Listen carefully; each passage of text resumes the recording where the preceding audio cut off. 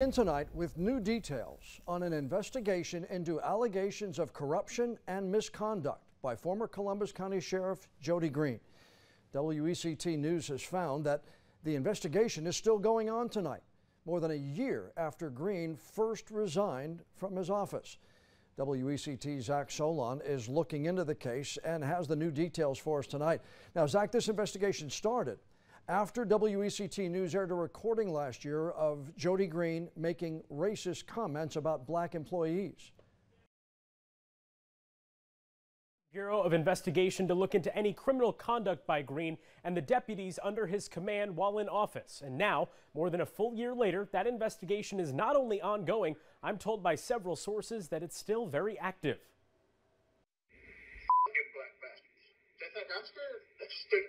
The investigation continues into allegations of misconduct involving former Columbus County Sheriff Jody Greene. Just over one year ago, WECT Investigates aired racist comments made by Greene. He resigned from office in October before being reelected a month later and stepping down again this past January. The recording also sparked a state investigation into Greene's alleged misconduct and possible obstruction of justice. Sources tell WECT that subpoenas have been handed out as recently as Monday to several people, including government officials. But the question remains what are these subpoenas for, and how much longer will the investigation last?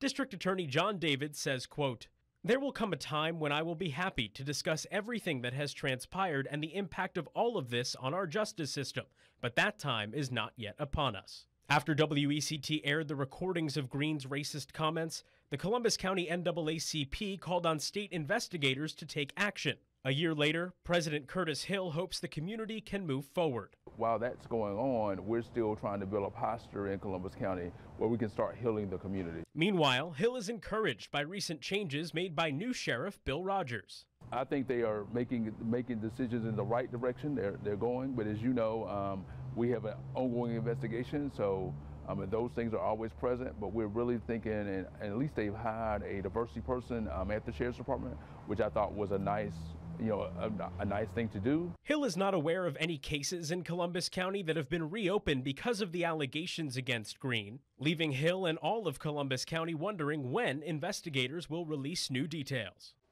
And tonight, we can tell you court documents reveal that Greene is also the subject of a federal investigation.